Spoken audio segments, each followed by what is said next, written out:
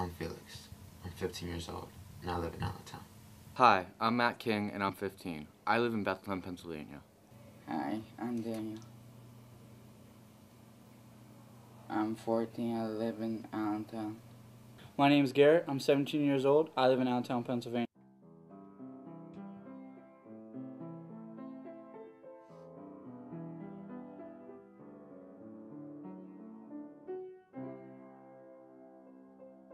The former team, we first discussed how the team's mental health illness was treated.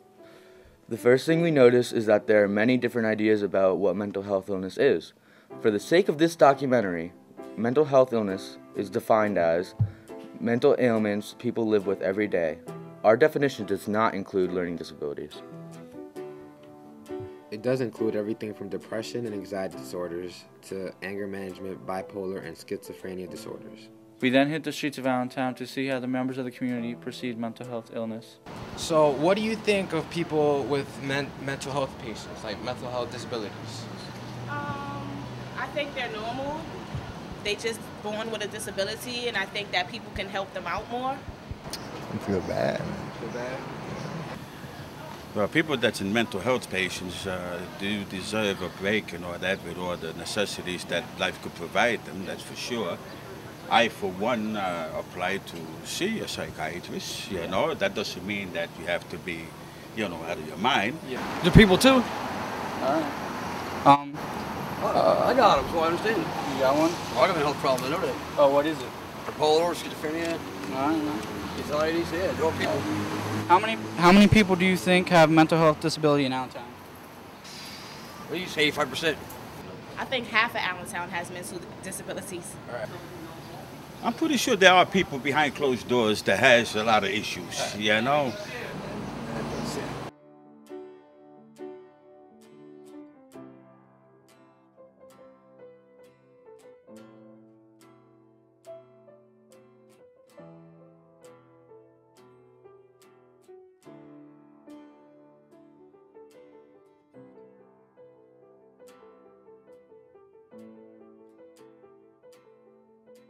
How, how do you think the Lehigh Valley community treats mental health patients?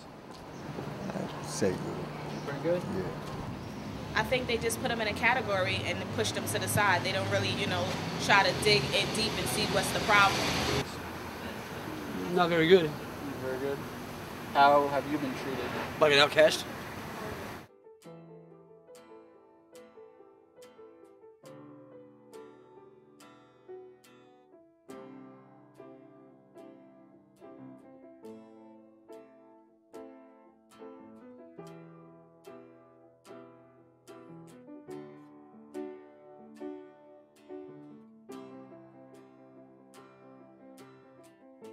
When I was four, my father died. He was an alcoholic. That was the source of a lot of my problems.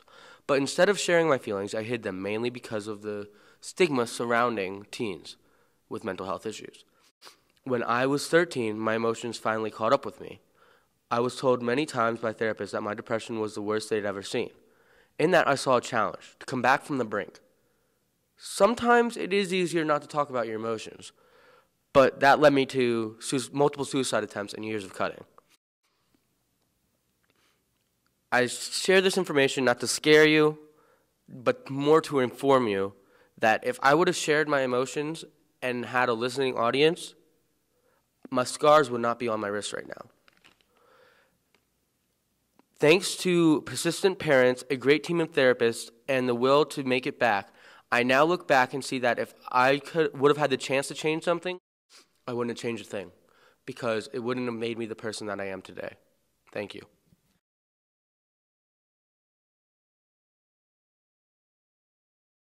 I'm Joe Gallo. I'm a therapist at Lehigh Valley Hospital, the Adolescent Transitions Program. I've been in transitions, Garrett's been in transitions, but um, I'm wondering, in your mind, what does transitions do for people?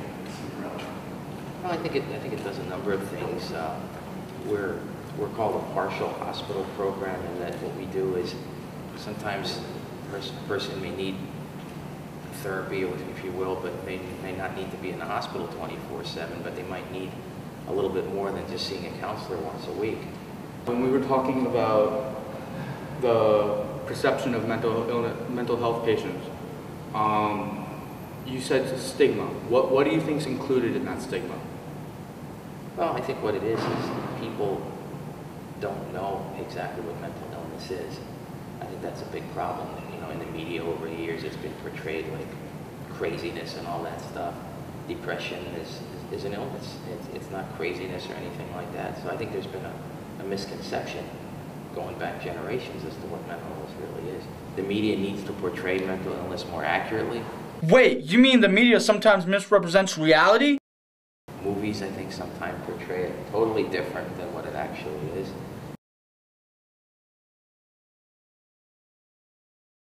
I think it goes back, like I mentioned before, the education component. I, I just think, you know, fear grows out of not knowing something. I mean, it, uh, we're, afraid of the unknown, so the more that we can educate people about mental illness, all of a sudden it becomes a lot less frightening. And uh, I don't think that's only Lehigh Valley. I think it's it's everywhere.